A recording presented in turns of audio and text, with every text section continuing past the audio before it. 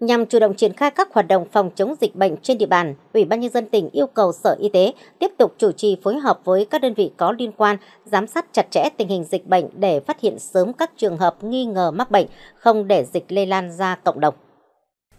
Trong đó, khẩn trương xây dựng triển khai các phương án cụ thể, sẵn sàng đáp ứng với các tình huống dịch bệnh, triển khai quyết liệt các biện pháp phòng chống, xử lý triệt để ổ dịch, không để bùng phát hoặc phát sinh ổ dịch mới.